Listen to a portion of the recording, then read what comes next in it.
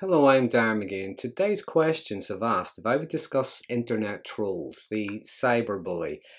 There is a lot to cover in this, so I've decided to break this video into two parts. In this video, I'm going to talk about what trolling is and look at the different kinds of internet troll. I'll also look at some of the motivation behind that kind of behaviour. In the next video, I'm going to discuss some of the research that has went into the personality types that engage in cyberbullying. So if you find this video interesting, please consider subscribing to my channel. But just to remind you, this video is for information purposes only.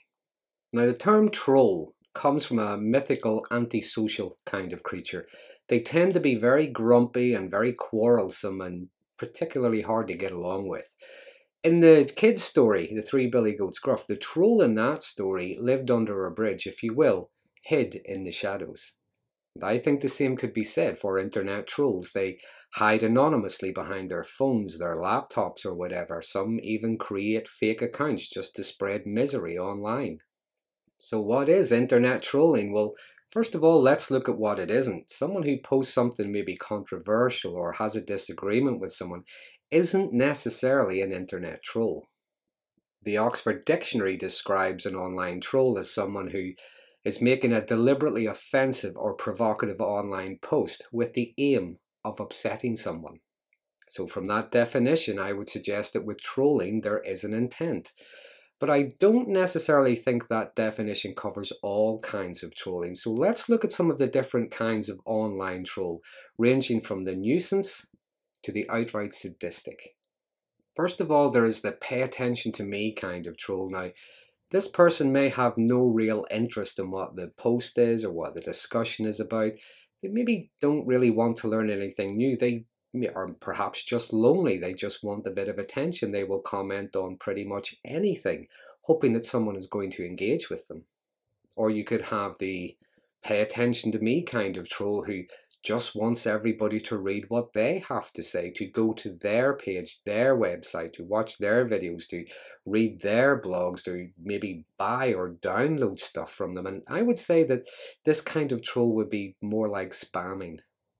Then there's what's known as the griefer. Now, this is the troll who likes to irritate others just for the sake of a joke. They may come across as a playful, rule breaking kind of scamp, but as much as that banter can be harmless, there can also be a sinister side to it. They seem to enjoy embarrassing, sabotaging, or even humiliating others just for a giggle. Then there would be what's known as, well, what I would call the pedantic, sometimes referred to as maybe the grammar police. Now, this is the troll who would maybe see the misspelling of a word or an apostrophe in the wrong place, or maybe something has been mispronounced and, and my goodness, they just pounce. This kind looks for human error and weakness and finds ways to exploit it for their own gratification.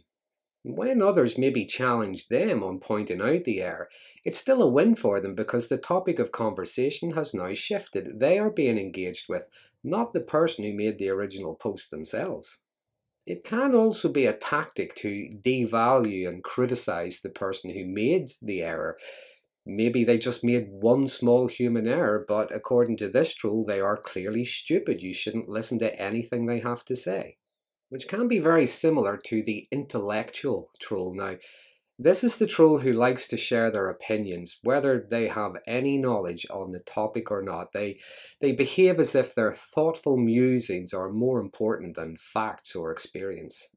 They disagree with things like virtue signaling and making statements like a lot of people think, but they never actually mention who these people are or how they know them. Now, a common trait of the intellectual troll is if they ask a question or raise a concern or make a statement, if you answer them, they have no interest in anything you have to say. They just want you to debate with them. They just want you to explain yourself. And your explanation will never be good enough because they are far too clever. They're a bit like an energy vampire. They tend to feed off your frustration as you try to get your point across they continually misdirect the topic of the topic of the conversation. They use endless paragraphs of word salad and doesn't matter what you say, they have no intention of understanding. The next kind of troll would be the one who deliberately spreads misinformation. Now, The agenda behind this kind of troll is to create false perceptions around a person or a situation. I would speculate that many of these kind of trolls would maybe be part of a movement or an organization as maybe they're trying to create bias, false narratives in order to maybe harass and deceive other people, particularly their opponents. Next up is what I would describe as a predator. Now, these are opportunists. They maybe see people who are undecided about something and dazzle them with their intellect and their wit, or they may see someone who is vulnerable, so they come across as pleasant. They flatter them, engage with their target in the hope of any kind of a conversation. As that may be quite harmless at first, you know, I agree with you, you've made a good point. I hope you're in a better place now, but remember what I said, these are predators you do engage with them, it's not long before it escalates to things like, So, where are you from? And I would like to talk to you further. Can I have your email address or your phone number? Now, if someone does engage with them but won't necessarily give them personal information, personal contact information, they can become quite aggressive. By the way, if you're targeted by this kind of troll, rest assured that They've probably sent that same friendly, flattering message to dozens of people in the hope that someone will answer. Next is the perpetually offended troll. Everything outrages them. They are either offended personally or they're offended on behalf of others. Doesn't matter what's said, doesn't matter whether it was in good humour or even if it's a scientific fact.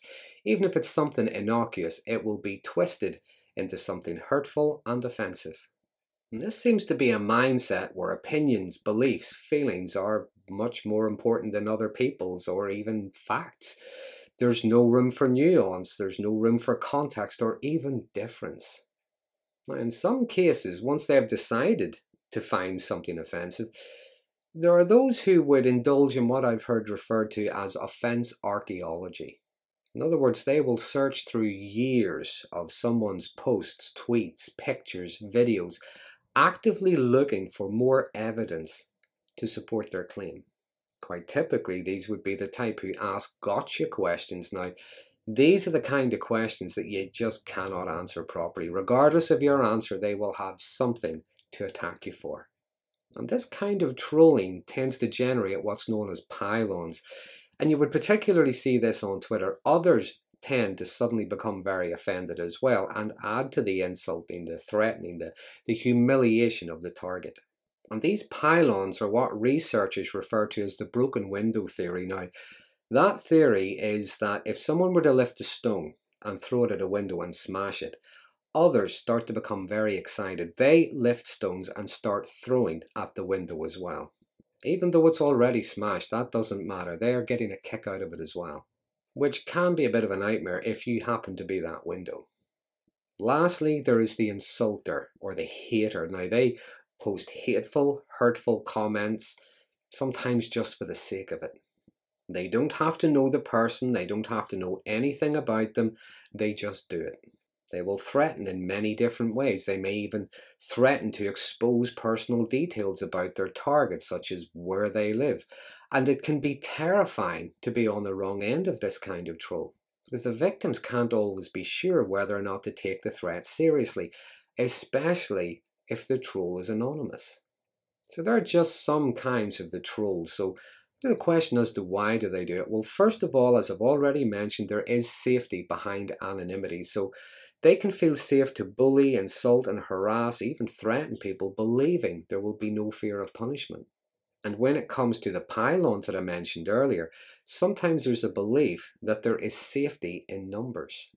There is also safety in trolling someone from a fake account.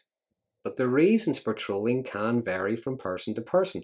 Some people do it out of boredom, some people do it out of malice, some people just want to get some kind of response from, say, a celebrity of some kind. Some are just desperate for attention, and bad attention is better than none at all. There can be envy, envy perhaps over someone else's success or even just happiness. Someone may see something online that they disagree with and really believe that it's been posted about them personally. And some may just want to reel others into their own little world of misery. It's something to consider when it comes to the online troll. Many times all they're doing is reading words. They may have a profile picture of that person or an avatar of some kind. Other than that, they know nothing about the person. Now, if it's say like a YouTube video, yeah, they see and hear the person speak, but they know nothing about them. They've never actually met. So I think a lot of the time what's happening is they are reacting to a version of that person that they have created for themselves in their own head. And sometimes, some people just want to create mayhem for the sake of mayhem. So there are just some of the common types of the internet troll, the cyberbully. Now in the second part of this video, I'm going to look at some of the research that has went into the personality type of the internet troll. As always, there may be some things, some types that I may have missed. By all means, please use the comment box below. These videos too do tend to start some interesting conversations. If you like this video, please consider subscribing to my channel for future updates on mental health related topics. And until next time, thanks for watching.